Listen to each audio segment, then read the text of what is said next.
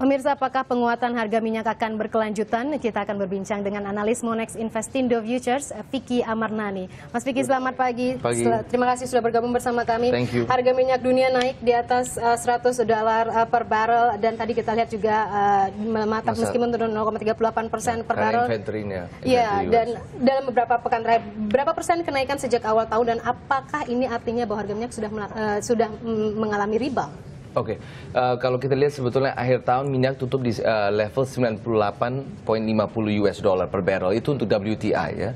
Em, tapi kalau misalnya dari situ baru naik 2,5 persen. Soalnya kemarin closingnya di 101 dolar per troy ounce. Tapi kalau kita lihat dari awal tahun ini dari 98.50 dia sempat turun ke 9190. Terus dari 9190 naik sampai setinggi 105 dolar karena masalah politik, masalah krisis di Ukraina dan kemarin karena inventory uh, minyak di Amerika Serikat itu meningkat turun lagi ke 101 dolar. Jadi sangat volatile kalau di- dilihat dari awal tahun ini. Tapi kalau dari awal tahun ini baru naik 2,5 persen.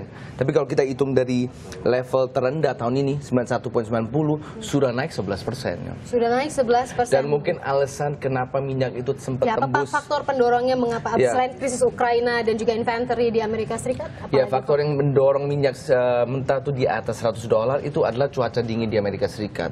Kalau kita lihat secara pola juga eh, rata-rata bulan November, Desember, Januari itu minyak cenderung naik karena musim dingin eh, di Amerika Serikat akibat itu heating oil butuh minyak mentah lebih banyak. Badai gitu. salju juga di Amerika Ya, Serikat Ya, itu satu terus mungkin faktor kedua karena pertu- karena ada data positif dari Cina di bagian kreditnya itu juga membantu. Jadi itu dua faktor yang pertama yang membuat minyak naik di atas 100 dolar. Baik, untuk proyeksi Anda kenaikan harga minyak ini akan berlangsung berapa lama? Oke, sekarang kita mungkin ngomong range besarnya dulu ya. Karena kita lihat kalau minyak itu cukup volatile ya. Kadang kalau ada event seperti di Ukraina tiba-tiba dari 100 apa dari 100 dolar bisa naik ke 105 dolar. Jadi range besarnya tahun ini tuh 90 dolar sampai 110 dolar. Ya, tapi kalau misalnya menurut saya harga fairnya minyak itu di level 98 sampai 102 dolar ya. Oke, dan kemudian apakah masih berpeluang naik lagi ke depannya karena Anda tadi mengatakan begitu volatile, apakah Ya. nanti eh, sesuatu saat Ukraina memanas kembali apakah ini akan memicu kembali kenaikan yang harga? men- menurut saya yang membuat minyak itu naik sangat drastis di atas 102 dolar cuman kalau ada event ya seperti event Timur Tengah, Ukraina ya kalau kita lihat masalah Timur Tengah yang pernah terjadi di tahun-tahun sebelumnya 2011 2012 harga minyak sempat naik ke 110 dolar balik lagi 110 dolar bolak balik lagi jadi kalau misalnya masalah event itu sering minyak tuh suka ada spike naik cepat tapi balik lagi ke bawah setelah masalah ini udah mulai mendingan gitu ya. Oke, jadi sangat sensitif. Sangat sensitif. Tapi kalau misalnya kita ngomong secara range, uh, kita di 101 dolar itu range minyak sebetulnya di 98 sampai 102 dolar gitu ya. Dan kita harus juga lihat data Amerika Serikat karena harga minyak itu terhadap US dollar. Jadi kalau ada data positif di Amerika Serikat, itu harga minyak akan cenderung naik. Karena data positif berarti kebutuhan minyak akan lebih banyak. Tapi kalau datanya negatif, itu minyaknya akan cenderung turun. Melihat tren harga minyak dunia saat ini, apa dampaknya bagi Indonesia? Mengingat kita lihat bahwa di APBN sendiri kita eh, ada asumsi di hati harga 102 hingga 105 dolar per barrel. Apa dampaknya bagi Indonesia? Ya, sebetulnya dampaknya lebih buruk ya. Soalnya kalau Indonesia walaupun penghasilan dari minyak, tapi mereka karena mereka punya subsidi net, net kalau misalnya harga minyak itu naik, itu negatif buat Indonesia. Jadi, tapi menurut saya di 102 sampai 103 dolar masih manageable.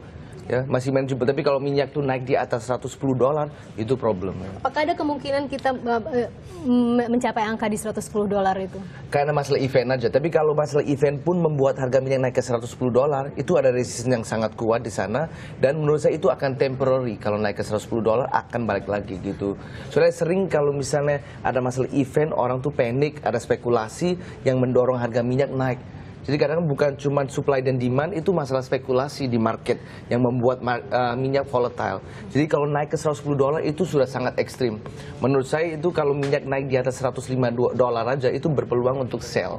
Oke, dan apa rekomendasi Anda kepada investor? Oke, i- uh, mungkin ya saya suka bilang sebelum krisis 2008 orang tuh kalau investasi beli satu aset simpen nggak perlu diperhatiin terus gitu. Tapi sekarang karena market itu sangat uncertain harus monitor terus, kita tuh lebih co- cocok menjadi trader daripada kepada investor. Jadi kalau kita bisa trading dengan dua arah, seperti misalnya kalau kita trading online, kita bisa untung dari harga minyak naik maupun minyak, minyak turun.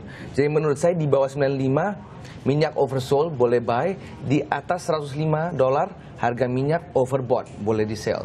Baik, jadi tadi kalau di bawah 95 boleh di boleh buy, ya. Oke. tapi kalau di atas 105 dolar itu sudah nggak make sense. Kalau Baik. akan naik pun sementara gitu. ya. Lalu berapa proyeksi Anda pergerakan harga minyak pada pekan ini hingga pekan depan? Oke, kalau misalnya untuk satu dua minggu ke depan ini uh, forecast saya itu dari 97 dolar sampai 104 105 karena masalah event ini. Ya. Oke. Jadi ada di harga segitu dan siap-siap tadi uh, Anda menyarankan untuk menjadi trader dulu, Betul. jangan investor dulu. Betul. Terima kasih Mas Fikri sudah bergabung bersama kami. Yes.